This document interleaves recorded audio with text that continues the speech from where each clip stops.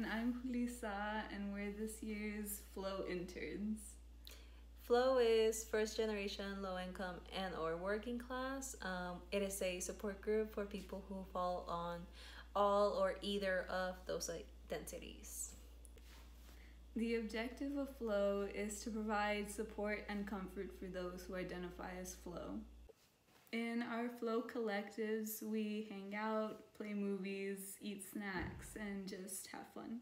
Yeah, so come join us.